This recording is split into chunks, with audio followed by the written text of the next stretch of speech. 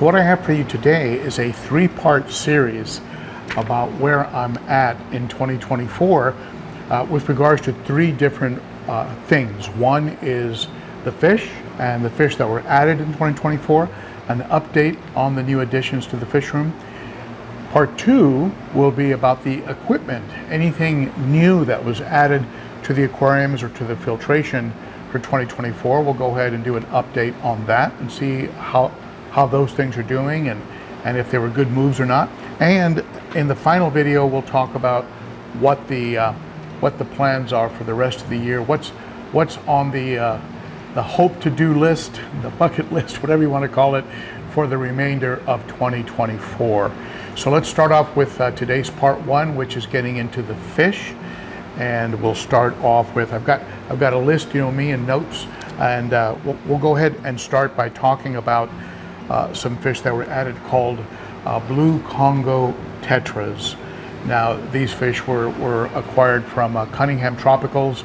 My friend Josh, Josh Cunningham over there sent me uh, some beautiful fish and I actually did a video on them and how they bounced back from some of the stress that they experienced uh, during the trip here. But but they all bounced back. They're all thriving. They're all looking great. A little bit hard to film sometimes because uh, they can hang out near the very back of the tank. But uh, boy, oh boy, when they do uh, get on camera and are in focus, they are just beautiful from the shape of the fins to the colors in the body. I believe I have about four males in here and four females. I was a little bit concerned that the uh, Buenos Aires tetras would be nipping away at their fins. But I don't really see any real damage. And uh, so uh, the Buenos Aires tetras are still in this aquarium. And they might, the Buenos Aires tetras might be rehomed. We'll just see how, how, that, how that kind of uh, develops as I go along. But very happy with these uh, fish, love the look of these fish. And also in the same aquarium uh, from, from uh, Dan's Fish, I have uh, albino acaras. And these albino acaras are just uh, blossoming into beautiful specimens. You can start to see a little bit of blue on the, on the edges of the tail and the, and the fins. And they're starting to get those red uh, thread fin trailers that are, are just so stunning and again, some concern about those being nipped by the Buenos Aires tetras, but I don't really see much of that going on. So uh, these uh, albino acaras, really just the, the albino version of the AC heckelii that I also have in this tank, but they, uh, there's five of them in here and they're just doing great. Not sure if I'll end up keeping all five. We'll see what the aggression level is like and uh, if any of them pair up or if I start getting some breeding going we'll see. We'll see where these end up, but I'm very excited about about how they're how they're coming along. Uh, going over to the uh, to a 29 gallon quarantine tank, I have some recent community tanks, community tank fish that I acquired, and they're still in quarantine. I recently got them through uh, a bout of ick. They all look clean and healthy now, and they'll be in this quarantine tank for about another 30 days, and then they'll be put into the uh, 55 gallon planted aquarium. Now I'm not really sure if I'll move them there now or if I'll wait until uh, I've, I've, swapped those tanks out for some new tanks that I'm going to be getting from, uh, from my friends over at Glass Cages in Dickson, Tennessee. But in that tank, you, will see uh, rasboras, uh, 24 karat, um, these uh, minnows, and uh, some rummy nose, some neon tetras, and uh, just a nice assortment of community fish that will be a nice complement to that 55 gallon planted aquarium.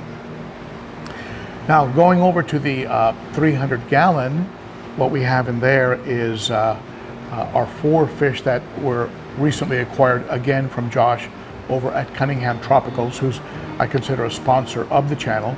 And Josh provided me with a, a beautiful a beautiful fire hap. And you, you can see the, uh, the two-tone, the orangey red and black on the anal fin. It's just a spectacular fish. A beautiful shade of blue on the body. And, uh, and holding his own and not being overly aggressive. I was afraid he might be attacking uh, other Protomelas in the aquarium or just being overly aggressive in general, but he's turned out to be uh, pretty mellow, perhaps because of the size of the tank and the much larger tank mates, they're keeping him in check. There is also another Protomelas in here from Josh, which is the Red Empress. Another uh, spectacular fish, beautiful coloration on the body of that fish. And uh, the, small for this aquarium, but, but, but holding his own, uh, certainly not being pushed around or intimidated. And as you can see by looking at the body, there's no real damage, fin damage, nip, nip marks or anything like that. So uh, he is, is doing okay. There's also a fish that is normally considered very aggressive that was that came in on the same shipment, an eye biter. Uh, crazy looking fish. I love the head and jaw of that fish, the beautiful dorsal fin, and uh, just the markings, uh, you know, the egg spots. Just an overall, I think, a very pretty fish. People either love them or hate them. Uh, the name makes you think that they're going to go and bite everybody's eyes, but I haven't found that to be the case. Uh, this one is uh, just a spectacular specimen. Beautiful blue in the body and uh, just beautiful markings, beautiful dorsal, um, you know, markings on the on the tip of the dorsal. Just just a, a pretty overall fish. There's also another edition of Buccochromis nototaenia that came in on the same shipment, and a cousin of that big Rhodesia yellow. I thought those two were going to get into it with each other, but they don't, and uh, and, and and I've been very happy with how this uh, Buccochromis, Bucconono as they're, as they're referred to sometimes, but this Buccochromis nototaenia is, uh, is like other ones I've had in the past, just an energizer bunny and jumping all around and running all around constantly, sifting and, and moving around the tank. Very energetic and beautiful coloration in the body. And they, they get pretty big. They can get, you know, 10, 12 inches, pretty hefty.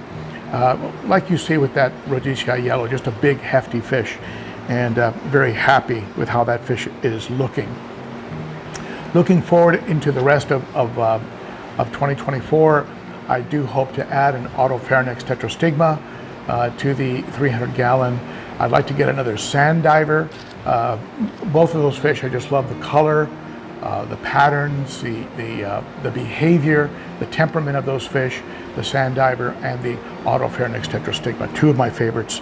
And I would like to take another shot at a, uh, at, at a Paratilapia a polleni or a Starry Night. Uh, I've, I've had two in the past that I, that I fell in love with, but for, for different reasons lost them early on. And I'm hoping to take uh, another shot, another shot at that fish and hope that this time I can grow them out into just a big, spectacular specimen. So those are uh, some of the plans uh, or fish I hope to add.